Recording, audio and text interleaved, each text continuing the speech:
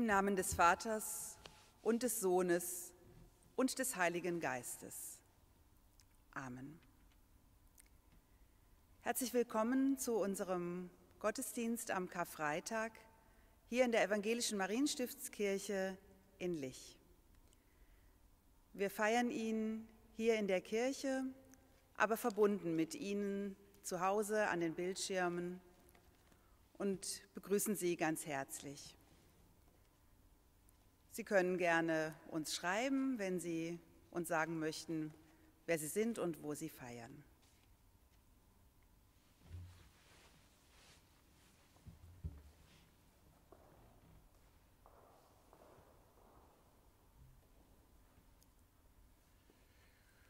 Ich lese uns Psalm 22. Mein Gott, mein Gott, warum hast du mich verlassen? Ich schreie, aber meine Hilfe ist ferne. Mein Gott, des Tages rufe ich, doch antwortest du nicht. Und des Nachts, doch finde ich keine Ruhe. Du aber bist heilig, der du thronst über den Lobgesängen Israels. Unsere Väter hofften auf dich, und da sie hofften, halfst du ihnen heraus. Zu dir schrien sie, und wurden errettet. Sie hofften auf dich und wurden nicht zu Schanden. Du hast mich aus meiner Mutterleibe gezogen. Du ließest mich geborgen sein an der Brust meiner Mutter. Auf dich bin ich geworfen von Mutterleib an.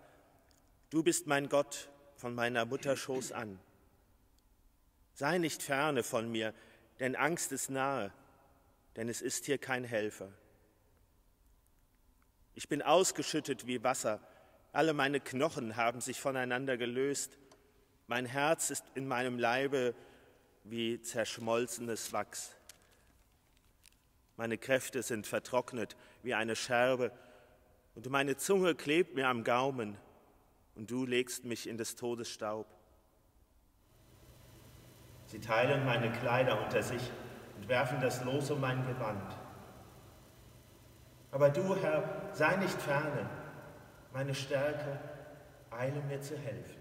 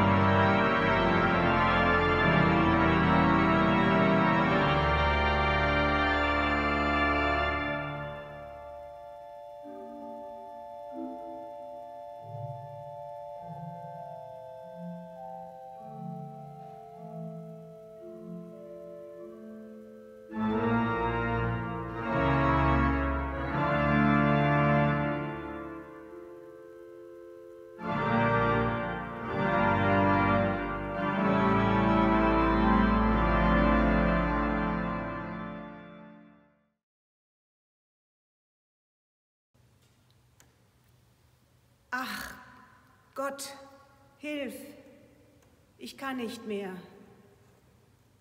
Ach, Gott, hilf, ich fürchte mich vor dem Elend. Ich fürchte mich vor der Not.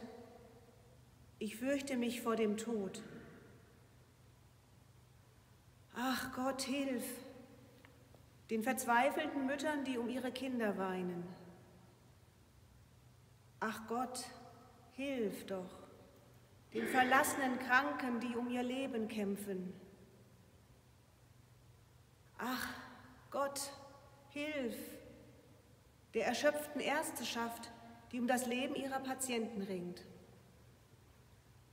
Ach Gott, hilf den mühenden Eltern, die alles tun, um ihre Familien satt zu bekommen.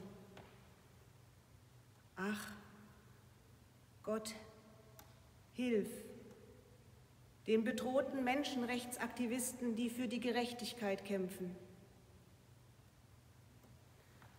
Ach, Gott hilf den geschlagenen Kriegsopfern, die täglich Gewalt erleiden. Ach Gott hilf, erhöre mein Flehen, mein Seufzen, mein Stöhnen.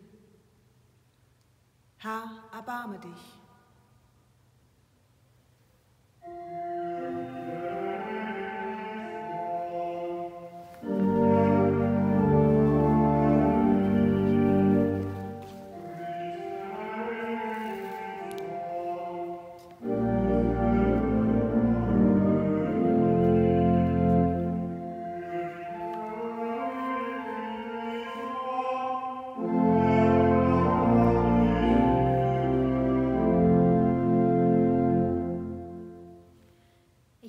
Aus dem Markus-Evangelium, Kapitel 15. Und sie führten ihn hinaus, dass sie ihn kreuzigten. Und sie zwangen einen, der vorüberging, Simon von Kyrene, der vom Feld kam, den Vater des Alexander und des Rufus, dass er ihm das Kreuz trage. Und sie brachten ihn zu der Stätte Golgatha, das heißt übersetzt Schädelstätte. Und sie gaben ihm Myrrhe im Wein zu trinken, aber er nahm's nicht. Und sie kreuzigten ihn, und sie teilten seine Kleider und warfen das Los darum, was wer bekommen sollte. Und es war die dritte Stunde, als sie ihn kreuzigten. Und es stand geschrieben, welche Schuld man ihm gab, nämlich der König der Juden. Und sie kreuzigten ihn mit zwei Räubern, einer zu seiner Rechten und einer zu seiner Linken. Und die vorübergingen, lästerten ihn und schüttelten ihre Köpfe und sprachen, Ha, der du, im Tempel, der du den Tempel abbrichst und ihn aufbaust in drei Tagen, hilf dir nun selber und steig hinab vom Kreuz. Desgleichen verspotteten ihn auch die Hohepriester untereinander, samt den Schriftgelehrten und sprachen, er hat anderen geholfen und kann sich nicht selber helfen. Der Christus, der König von Israel, er steige nun vom Kreuz, damit wir sehen und glauben. Und auch die mit ihm gekreuzigt waren, schmähten ihn. Und zur sechsten Stunde kam eine Finsternis über das ganze Land bis zur neunten Stunde. Und zur neunten Stunde rief Jesus laut, Eli, Eli, lama asabtani, das heißt übersetzt, mein Gott, mein Gott, warum hast du mich verlassen? Und einige, die dabei standen, als sie das hörten, sprachen sie, siehe, er ruft den Elia.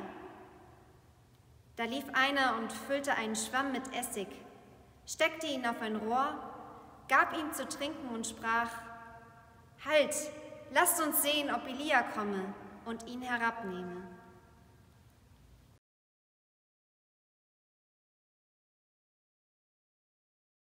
Amen.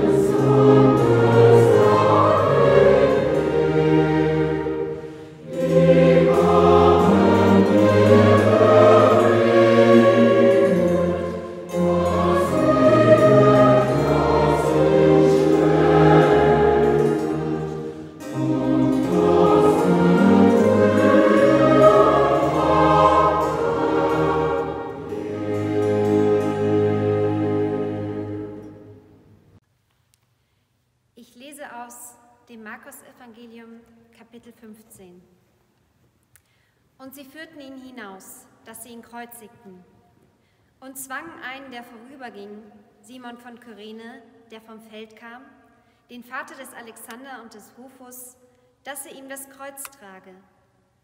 Und sie brachten ihn zu der Stätte Golgatha, das heißt übersetzt Schädelstätte. Und sie gaben ihm Myrrhe im Wein zu trinken, aber er nahm's nicht. Und sie kreuzigten ihn, und sie teilten seine Kleider und warfen das Los darum, wer was bekommen sollte. Und es war die dritte Stunde, als sie ihn kreuzigten. Und es stand geschrieben, welche Schuld man ihm gab, nämlich der König der Juden. Und sie kreuzigten ihn mit zwei Räubern, einen zu seiner Rechten und einer zu seiner Linken. Und die, die vorübergingen, lästerten ihn und schüttelten ihre Köpfe und sprachen, Ha, der du den Tempel abbrichst und baust ihn auf in drei Tagen, hilf dir nun selber und steig herab vom Kreuz. Desgleichen verspotteten ihn auch die Hohepriester untereinander, samt den Schriftgelehrten und sprachen, er hat anderen geholfen und kann sich nicht selber helfen. Der Christus, der König von Israel, er steige nun vom Kreuz, damit wir sehen und glauben. Und die mit ihm gekreuzigt waren, schmähten ihn auch. Und zur sechsten Stunde kam eine Finsternis über das ganze Land bis zur neunten Stunde. Und zu der neunten Stunde rief Jesus laut, Eli, Eli, lama asabtani. Das heißt übersetzt, mein Gott, mein Gott, warum hast du mich verlassen? Und einige, die dabei standen, als sie das hörten, sprachen sie, siehe, er ruft den Elia. Da lief einer und füllte einen Schwamm mit Essig, steckte ihn auf ein Rohr, gab ihm zu trinken und sprach, Halt, lasst uns sehen, ob Elia komme und ihn herabnehme. Aber Jesus schrie laut und verschied.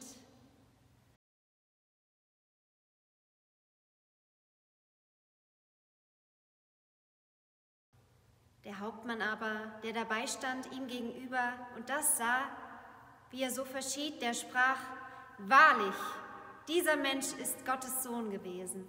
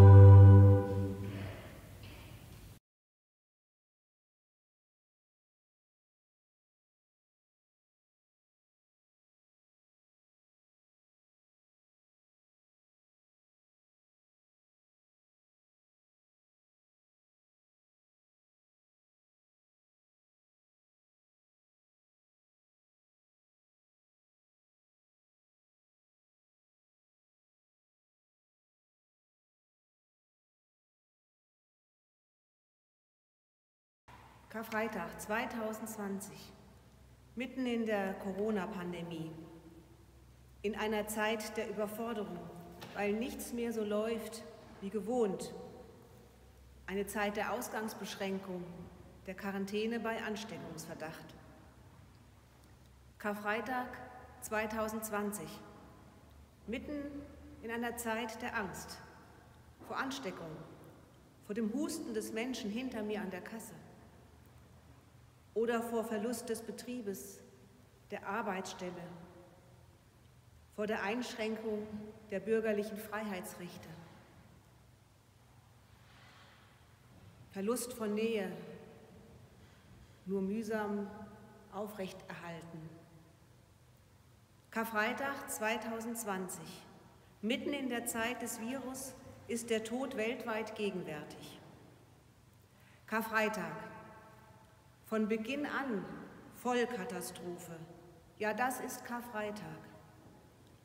Der Gedenktag des Leides und des Foltertodes Jesu am Kreuz.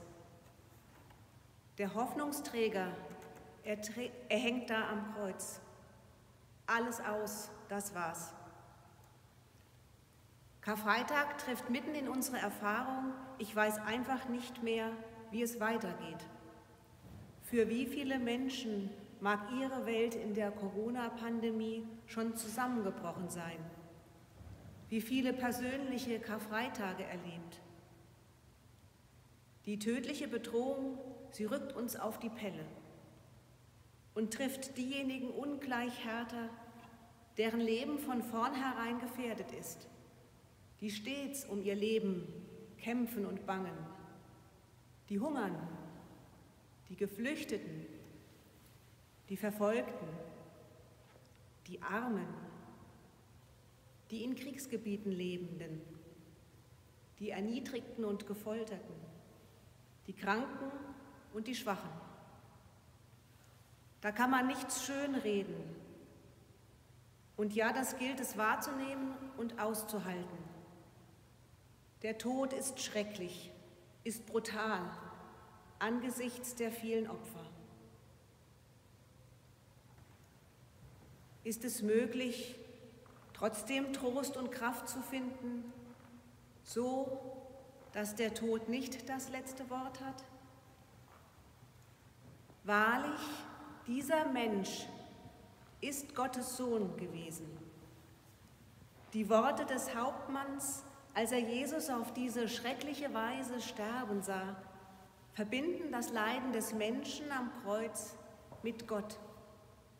Diese Worte eröffnen einen Raum für die Ahnung und für die Hoffnung, dass man im Leiden von Gott selbst berührt wird.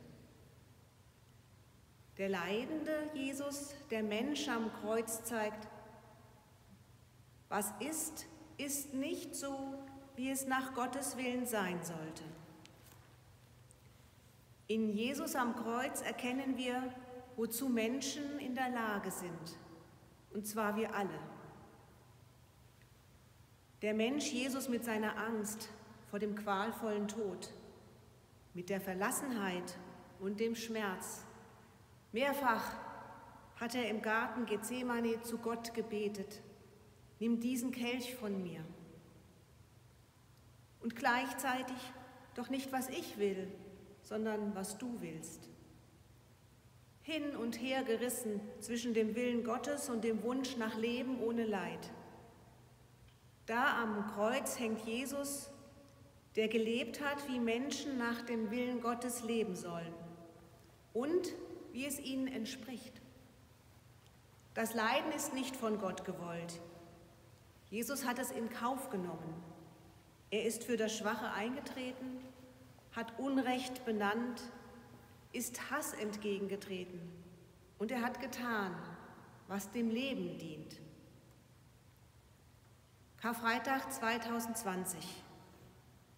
Ratlos, verwirrt stehe ich unter dem Kreuz angesichts einer Seuche, die all die anderen Leiden und Probleme zurückdrängt. Doch ich weiß, das Kreuz ist nicht nur ein Zeichen des Todes, es wird für uns zum Zeichen des Lebens. Der Mensch Jesus hat sich unter Gottes Macht gestellt, sich den Menschen ausgeliefert und wird im Leid von Gott berührt. Selig sind, die da Leid tragen, denn sie sollen getröstet werden. Das ist die Botschaft der Hoffnung und gleichzeitig der Auftrag an uns Menschen. Stellt euch den Tod entgegen, wo immer ihr könnt, gemeinsam, zusammen mit und für die Schwächsten in unserer Gesellschaft, weil Gott die Menschen liebt, weil Gott uns Menschen gemacht hat damit wir füreinander da sind.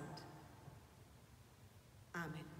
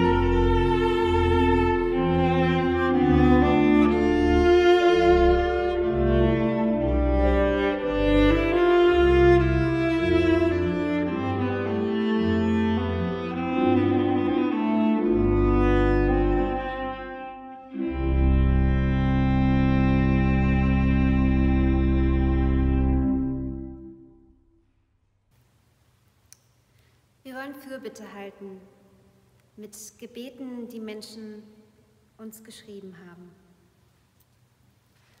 Gott, ich denke an die Alten, die jetzt alleine sind. Bleibe bei ihnen. Ich bete für die Supermarktmitarbeiter und Mitarbeiterinnen. Hilf ihnen jeden Tag neu mit Geduld und Freundlichkeit zu arbeiten. Gott, mach mein Herz jetzt ganz ruhig in mir. Gott, du hast uns miteinander verbunden. Hilf uns, dass wir erkennen, wer jetzt unsere Hilfe braucht. Ich bete für die Ängstlichen. Ich hoffe, sie finden Mut und Trost in diesen Tagen.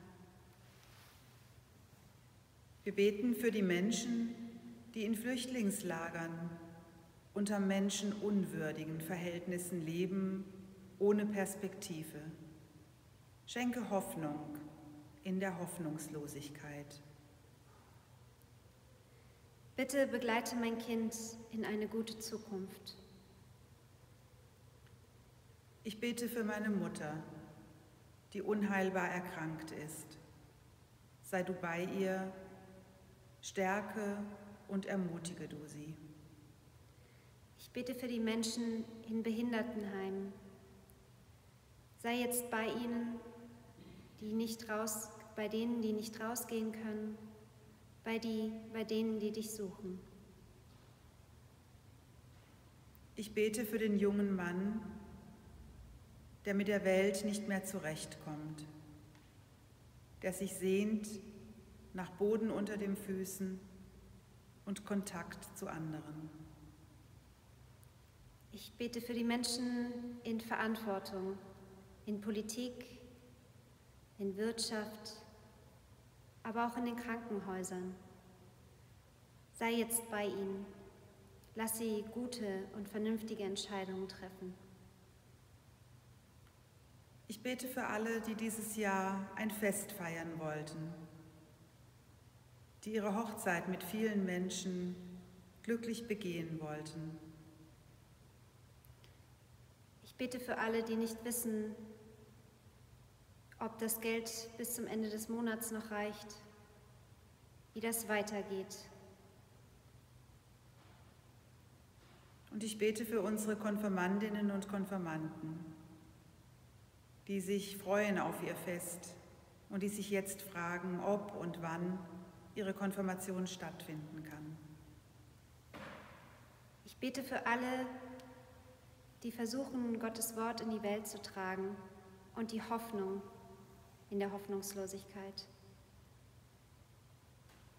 Ich bete für uns alle, dass wir unsere Augen öffnen, dass wir uns hinwenden zu denen, die uns brauchen. Gemeinsam beten wir weiter mit den Worten, die uns Jesus Christus selbst gelehrt hat. Vater unser im Himmel, geheiligt werde dein Name, dein Reich komme, dein Wille geschehe, wie im Himmel, so auf Erden. Unser tägliches Brot gib uns heute und vergib uns unsere Schuld, wie auch wir vergeben unseren Schuldigern. Und führe uns nicht in Versuchung, sondern erlöse uns von dem Bösen. Denn dein ist das Reich und die Kraft und die Herrlichkeit in Ewigkeit. Amen.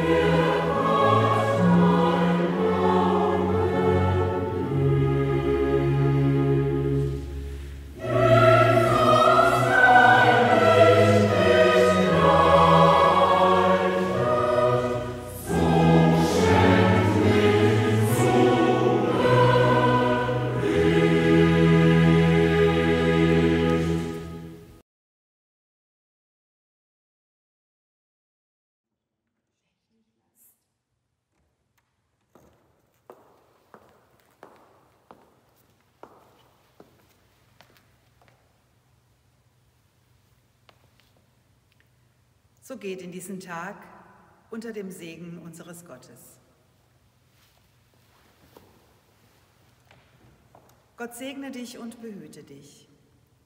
Gott lasse leuchten sein Angesicht über dir und sei dir gnädig. Gott erhebe sein Angesicht auf dich und schenke dir Frieden.